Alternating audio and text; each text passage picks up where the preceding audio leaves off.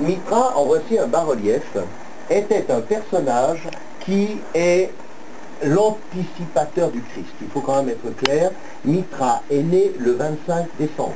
C'est pas un hasard. On l'appelait le dieu soleil, Sol Invictus.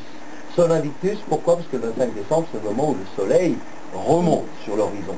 Euh, ce dieu soleil, pour ceux qui ne le sauraient pas, sachez que Noël, la naissance du Christ, à l'origine a été fixée beaucoup plus tard. Elle avait été fixée au début de l'année, au mois de janvier ou février. Et c'est seulement dans les années 5 ou 600, quand le culte de Mitra a disparu, que l'Église a décidé de fêter la naissance du Christ le 25 décembre, le jour de la fête de Mitra. C'était un moyen de court-circuiter les adeptes de Mitra, voyez, en, le transformant un peu en Christ. Également, Mitra est né d'une vierge. Et ça aussi, il y a quelque chose qui est quand même très troublant. D'ailleurs, des historiens n'ont pas hésité à dire, si le monde n'avait pas été chrétien, il aurait été mitriaque. Un Dieu unique, né le 25 décembre d'une vierge, c'est quand même étonnant, incarnant le soleil. Ce culte de Mitra passait, et ça c'est original, et peut-être vous comprenez mieux maintenant pourquoi j'envoie finir mon enquête en Camargue, dans le sud de la France, ce culte de Mitra passait par le sacrifice de taureaux.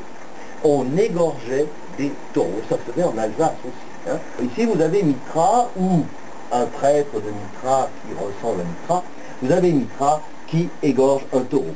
Pour l'anecdote, Mitra a sur la tête un bonnet qui est le bonnet phrygien que les révolutionnaires vont reprendre pour Marianne. Hein. Ça, c'est une anecdote, souvent parce qu'il venait d'Orient, de Phrygie. C'était une région euh, où on portait ce type de bonnet. Voici une autre image de Mitra, ce sont des images romaines. Il y avait une sorte de temple avec une voûte ronde. À l'intérieur de ce temple, on égorgeait des taureaux. Et les fidèles se faisaient asperger par le sang du taureau. Voilà, ça c'est une peinture. C'est une peinture de Pompéi où on voit le culte de Mitra qui existait déjà à l'époque. Mais je rappelle, c'est surtout, c'est surtout dans les casernes, les camps romains que le culte de Mitra était le plus répandu. Voilà, ça c'est la couverture de mon livre, c'est mon petit bronze romain, c'est Mitra, c'est un petit bronze qui était trouvé dans la région de Saverne, et euh, c'était une petite décoration de char qui est tombée d'un char, et qui, euh, représente Mitra euh, sous la forme du soleil, les rayons du soleil et la tête de Mitra. Le culte de Mitra se faisait dans ce qu'on appelle un mitraeum. Le mitraeum est toujours une grotte. Alors bon, beaucoup y ont vu évidemment l'allusion à la crèche, la naissance du Christ, bien sûr.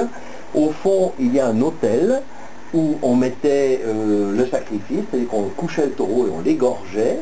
Et il y a sur les côtés des banquettes. Alors ça c'est en Iran, ça c'est à Ostie, près de Rome. Et vous voyez ici, il y a même la statue de Mitra qui est encore là. Voici un autre mitraeum qui se trouve, lui, c'est à Rome, voyez, toujours les banquettes, et au centre, là-dessus, on couchait le taureau, le sang coulait, et les gens venaient s'en faire asperger, ou ils s'en aspergeaient mutuellement. je vous rappelle que la symbolique du sang est quand même très présente dans le culte chrétien avec, la communion par le vin. Hein. Il y a quelque chose de parallèle. De même, après, ils mangeaient le taureau, et là aussi, on mange le sacrifié de façon symbolique chez les chrétiens. Hein. Donc ça c'est en Angleterre, mais j'y viendrai. Voilà, ça c'est aussi en Angleterre. Alors cette fois-ci, c'est un temple qui n'est pas sous forme de grotte, mais qui est un bâtiment, une construction. On retrouve quand même les banquettes euh, et puis l'hôtel au fond. Il y a quelque chose qui est, assez symptomatique. Là, on a mieux, on a carrément une peinture de Mitra dans un mitraeum. Un mitraeum, c'est-à-dire une église de Mitra. Voici encore un mitraeum, vous voyez, avec toujours la même atmosphère de grottes, les banquettes, etc., etc. Et ici, on reconnaît la silhouette de Mitra, du dieu Mitra. Et je rappelle tout ça, ça c'est à Rome, tout ça était secret, c'était des cultes dont on ne connaît pas les détails, c'était des cultes, vous en aurez quelques-uns dans le livre, je ne vais pas tout vous dire, et puis euh, c'était des cultes qui étaient pour soldats, parce qu'il y avait un côté viril, hein. il y avait un côté euh, s'asperger du sang, égorger le taureau, etc. Ça avait un côté qui n'avait rien à voir avec la religion officielle des Romains. Voilà. Voici un plan de Strasbourg à l'époque euh, romaine. Vous reconnaissez ici l'île où se trouve la ville de Strasbourg. Alors sachez qu'il y avait un camp romain et là il y avait une ville. Voilà. Donc le camp romain correspond à peu près, euh, disons, au niveau de la cathédrale. euh, la place Gutenberg est là, la place Kléber est là. Et puis ça c'était la ville, en allant vers la gare. Et le mitrailleum était ici. Voilà. Donc euh, un petit peu à l'extérieur de la ville. Ce mitrailleum, on en a ici une représentation. Ça c'est à Strasbourg, c'est à Königshofen. Vous avez ici Mitra et une image du mitrailleum. Euh, pour rester un petit peu sous le sien, nous avons à Sousse M. Adolphe Landspour, qui est un géobiologue et un sourcier connu.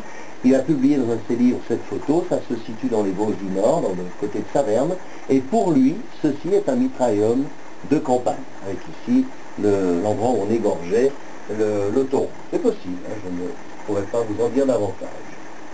Voilà. Et vous voyez, je l'ai mis en violet et avec une croix. Tout ça, dans les années 400, 500, va être balayé, annulé totalement par le christianisme. Bien sûr. hein.